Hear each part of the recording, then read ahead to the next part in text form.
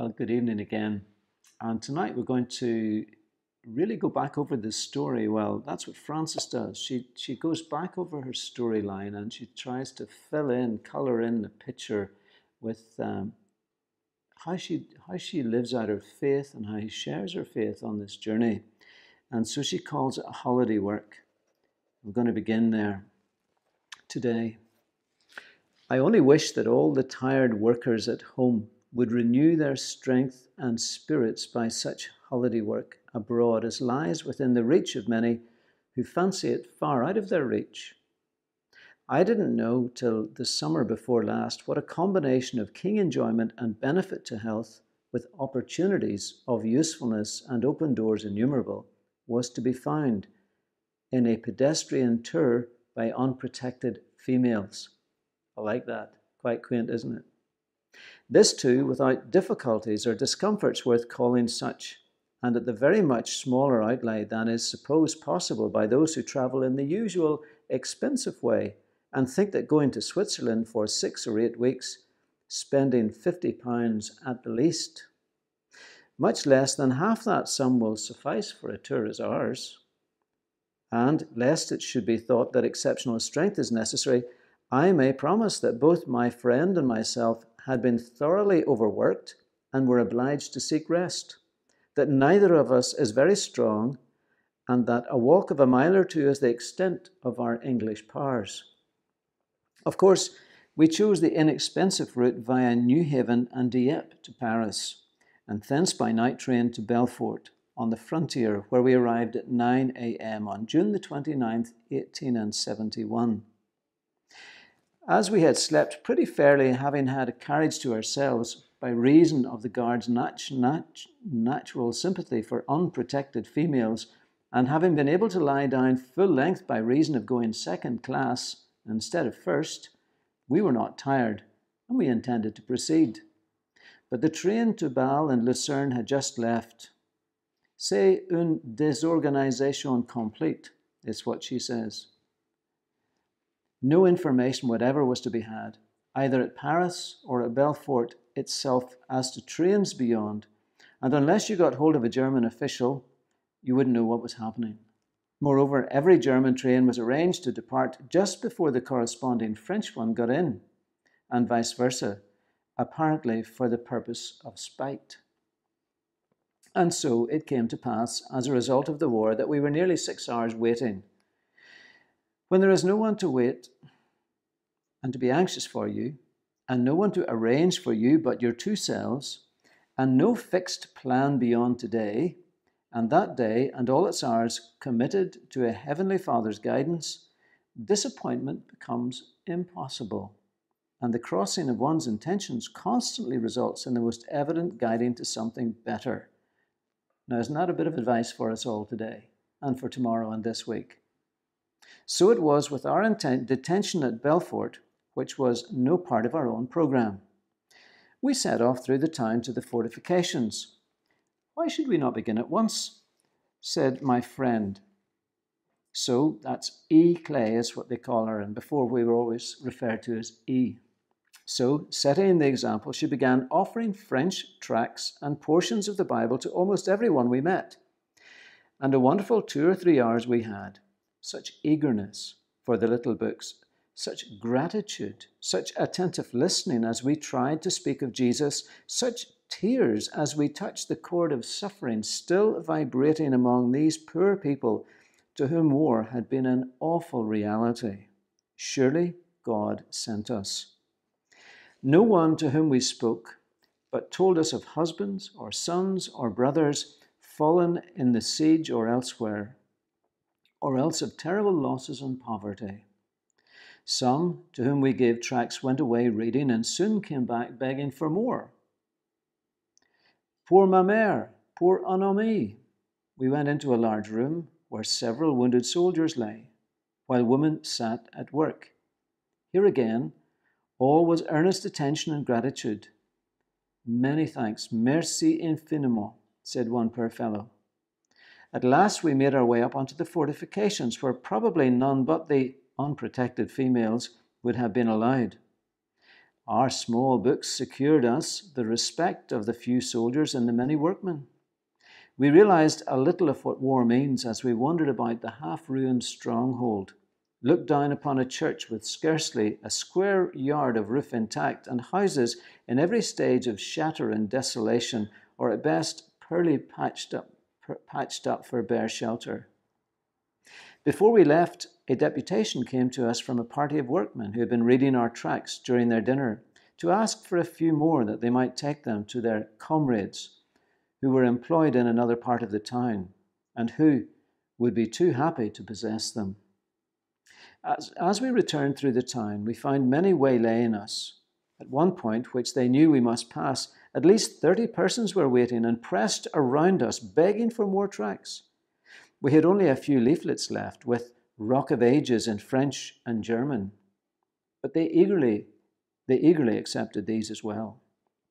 I have since regretted that it did not occur to me at that moment to sing Rock of Ages. We reached Lucerne that night, and the next morning we steamed down the lake. It would have been contrary to our travelling principles to pay first class fare for the privilege of sitting among the unsociable English, aft with funnels and paddle boxes right between us, and the magnificent scenery opening out before us. So we took second class tickets, thereby securing for half price a clear front view with nothing but transparent air between us and the increasing loveliness ahead, and also the advantage of being able to be among the local people who were all politeness to us. We thus had also the benefits of some charming Swiss songs sung by a girls' school out for holiday. They lent us their little songbooks to follow the music, and they were delighted at receiving the little books, the little gospels and tracts in return which might, by his blessing, we pray, put a new song in their mouths. From Altdorf, at the other end of the lake, our long anticipated real pedestrian tour began. Our plan was this our luggage consisted of a small carpet bag apiece. I take it that's a suitcase. Every inch and every ounce had been considered and economized though even these were discovered on further experience to contain super, super, pardon me, many things we don't need. These bags we sent on each morning by post or diligence, or if on grand routes, by baggage mule, country cart, or small boy if off the track, to whatever place we thought we could reach in the day without undue fatigue. And here we always found them all right Average expense? A few pence. We started at 4 or 5 a.m., walking on till we felt inclined to stop and rest, our first halt being given to leisurely reading and prayer in some grand and lonely mountain oratory. A plan which we find more pleasant and profitable than devoting the whole time to it indoors before starting. And then we strolled on again, halting or taking refreshment just as and when we felt inclined, resting for several hours in the heat of the day and making another stage or two in the afternoon. We carried little tiny knapsacks. Bags are a great mistake, being more fatiguing to carry. These held tracts and Bible portions, a biscuit and a hard egg, and the barest necessities in case of missing our carpet bags or altering our plan for the night. As Switzerland is the land of hotels and travellers, such a tour as ours is easier than it would be anywhere else. And unless you're out in a very out of the way place, you seldom go three miles without an opportunity of getting a meal, or six without a fair chance of beds. We began very gradually. Our first walk was only two miles, but in a fortnight we found ourselves doing 14 to 20 miles in a day without getting tired. I'm going to stop there just now, pause. There's something about Frances's style and her manner of life and her manner of ministry that has about it a degree of what I would call that naturalness that is sometimes lost in our day. What I mean is just that everywhere you are, you are naturally who you are in Jesus Christ. You never are not in Christ. I have another book here, and maybe someday I will take sections out of this book to read. I'm not sure. This book's called The Annals of My Life. It's by the first minister in Portrush, who was the Reverend Jonathan Simpson. It's quite uh, a story. It's an amazing story. There only are a very, very few copies of this book in print today, and I have been privileged to have two of them, one of which I will gladly leave to this congregation when I someday move on. But Jonathan Simpson records in his, in his story of being visited by a friend one day. He came to visit him in Portrush, and of course, as was normal back in those days, he would take him, and today, of course, the same. He would take him out to see the Giant's Causeway, Dunluce Castle, and some of the sites that are famous and important. But on that particular journey, which was by horse and trap, he records that the journey took quite a while because every time he would come across somebody in the field working along the roadside there, the path, he would stop the horse, stop the cart, he would jump out and take with him his little brown paper bag full of gospel tracts. He would go to the people in, the, in out in the fields and he would hand them out to those who could read. Or if they couldn't read, they could find someone who could read it to them. He talks about how many people and how much time it took to do that. But I couldn't help thinking about the same sort of style. Well, Jonathan Simpson was in 1840 and he was here until, well, nearly the, the 1900. And um, it was during the same period, it was during through the same times and experiences. Great evangelical movements were going on at that time, of course. But isn't it lovely to see how, in the normal course of events, people who have a winsomeness can just find a way to use every brief encounter. And that's a phrase that has become very special to me personally. Every brief encounter. Because that's the best way to share our faith with people, isn't it? Not some necessarily special ambush, you know, where you kind of wait for them and jump out at them, metaphorically speaking, but just in the normal everyday life, through kindness, through conversation. And aren't there so many more conversation opportunities just now? I find myself in lots of queues. And isn't it normal to turn around to the person who's two meters away from you or whatever distance it is, will be as the time goes on, and say, And how are you? And how's life? And how are you coping with this change? And whatever the way the story opens up. You know, I think we need to be much more inclined. Maybe literature is not what people read today. I'm not so sure. I think people are less inclined to read, but I do know that people are still inclined to share a story with you or hear your story.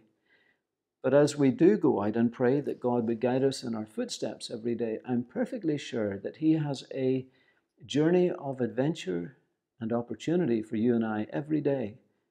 I think for most of us, we're just scared to say anything.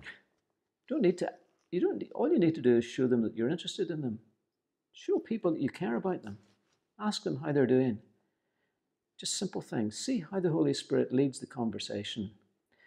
And it's not a bad idea to have a little booklet or two in your pocket, to keep something, or even a, a little anything that can point them to a website or to a, a special story or whatever it may be. Whatever's familiar, whatever's helpful to you, whatever is spoken to you. And thereby you'll be doing holiday work as well.